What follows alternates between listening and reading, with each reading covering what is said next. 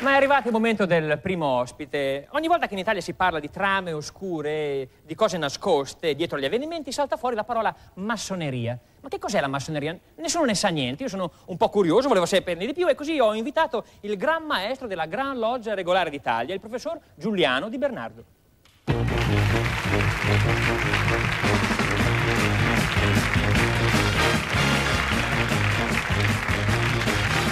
I never met a girl me feel the way that you do. You're alright. Whenever I'm asked to make my dreams real, I say you do. Ben arrivato, ben arrivato, professore, come va? Guarda, bene lei? Molto bene, grazie, la ringrazio di aver accettato il nostro invito, so che è, è pieno di impegni, fra l'altro lei è professore di eh, filosofia della scienza a Trento, eh, oltre ad avere questi, questi impegni massonici che immagino eh, gravosi, insomma, no? Tut- tutta, tutta- tutta la massoneria italiana praticamente. Tutto è gravoso. Tutto, è- tutto è gravoso, questo, questo è vero. Ora, la maggior parte, come dicevo nell'introduzione, la maggior parte degli italiani ha saputo che esisteva una cosa chiamata massoneria, credo, in seguito, a me è capitato così, in seguito allo scandalo della, della P2. Prima non ne sapevano niente, poi improvvisamente questa cosa. Da allora noi associamo il termine massoneria ai servizi deviati, alle trame occulte, alle stragi. Ma è questa la massoneria? Che cos'è la massoneria? La massoneria non è questa. La massoneria non ha nulla a che fare con la P2, né con le cose di cui è stata accusata la P2, stragi, collusioni con servizi segreti, trame contro lo Stato. La massoneria è qualcosa di diverso. E io spero questa sera di poterla finalmente spiegare a voi e agli italiani. Perché si è tanto parlato di massoneria, sempre però fraintendendo nel significato più profondo. Dopo la mia elezione a Gran Maestro del Gran Oriente, io ho ricevuto numerose telefonate da gente sconosciuta Questo è capitato nel nel 1990. 90? Ah. Cioè la gente si congratulava con me perché ero diventato potente come Gelli. Ma è questo il potere della massoneria? È questa la massoneria? Certamente no. La massoneria è una concezione della vita dell'uomo. Sono massoni quegli uomini che si ispirano a certi principi, che li interiorizzano e li assumono come ragioni della propria condotta. Quali sarebbero questi principi? Sono i principi della libertà, della tolleranza, della fratellanza, della trascendenza e del fondamento iniziati. Io vorrei, vorrei alcuni cenni storici sulla massoneria. Quando è nata, dove è nata? Quando parliamo delle origini della massoneria possiamo distinguere le origini filosofiche dalle origini storiche. Lasciamo da parte le origini leggendarie perché ci fanno dire della massoneria tutto e il contrario di tutto. Se noi andiamo a leggere i rituali massonici, i rituali della massoneria inglese, che sono i più antichi rituali, vi troviamo tracce di ciò che è stata chiamata filosofia occulta. La filosofia occulta è quella che ha trovato uno dei maggiori rappresentanti in picco della Mirantola e che consiste nell'ermetismo, nella cabala cristiana, nell'alchimia, nella magia, nel rosacrocianesimo. Ecco. Ebbene, la massoneria inglese nasce recependo tutto questo. Più o meno siamo nel 1000... Cioè siamo nel 1717. Ecco allora ritorniamo alle origini storiche della massoneria.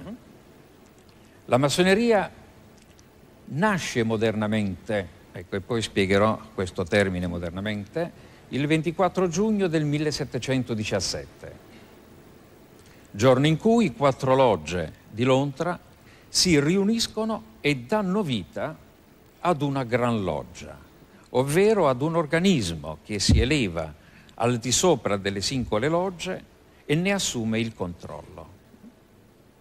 Precedentemente al 1717 esisteva la cosiddetta massoneria operativa, la massoneria costituita da uomini che materialmente costruivano le cattedrali. Ecco perché operativa, operavano costruendo le cattedrali. Ma dal 1717 la massoneria diventa speculativa, nel senso che accetta anche uomini che non costruivano materialmente le cattedrali, accetta il clero, accetta la nobiltà, accetta gli intellettuali, i membri della Royal Society. Il capo della massoneria in Inghilterra? Eh, chi, chi, chi, Generalmente il re.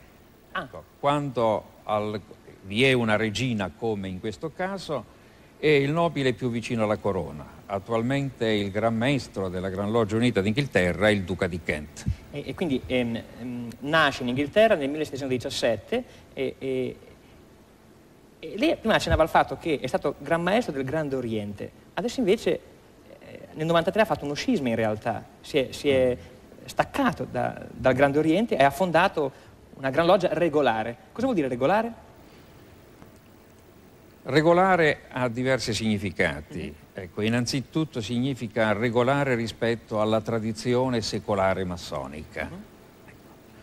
Sulle ragioni della mia uscita dal Grande Oriente e le ragioni che mi hanno indotto a fondare una nuova massoneria in Italia sono state dette tante cose. Indubbiamente vi sono cause diverse, però la più importante è quella da me più volte ripetuta ma mai ascoltata, ossia che nel Grande Oriente io non trovavo più quei principi di una tradizione secolare così come erano stati concepiti in Inghilterra. Io infatti ho ricepito dalla massoneria inglese costituzioni, regolamenti e rituali. Perché si entra in massoneria in realtà? Cioè, la sua esperienza qual è stata? Quando è entrato lei in massoneria? Beh, io sono entrato in massoneria 40 anni fa. Per voi giovani sembra un tempo enorme, ma anch'io sono stato giovane e ricordo eh, quegli istanti della mia vita. Io ho saputo dell'esistenza della massoneria intorno ai 16 anni. Era il tempo in cui divoravo libri di filosofia, ero affascinato dalle grandi costruzioni del pensiero di Platone, di Aristotele, Hegel, Kant.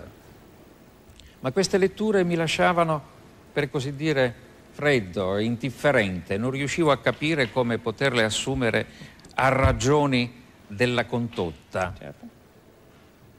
Un giorno incontrai un vecchio massone che mi parlò per la prima volta, avevo 16 anni, Dove eravamo qui?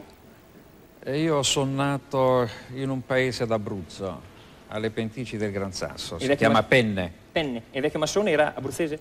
No, si trovava lì per caso. Ah. Ecco, questo vecchio massone era passato lì per caso e mi parlò di massoneria.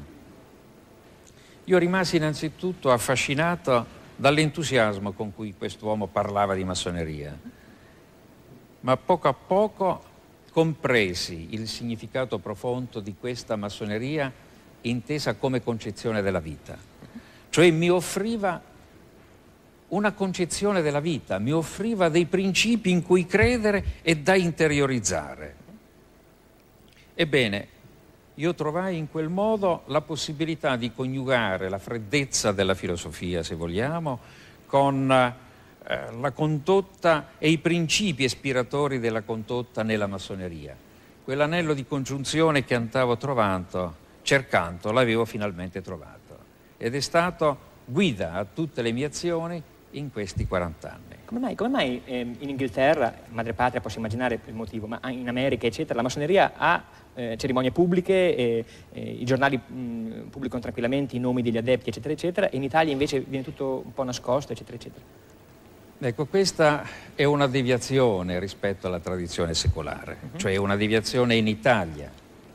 Chiunque di voi si trovi a Londra e voglia visitare il tempio della massoneria inglese, Sì, io qui, sì.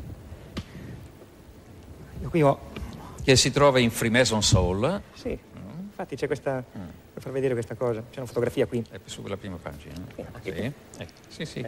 Freemason Hall, Questo, vediamo. ecco, questo qui è ancora più... Ah, questo, ancora più grande, sì certo. Questo è Freemason's Hall.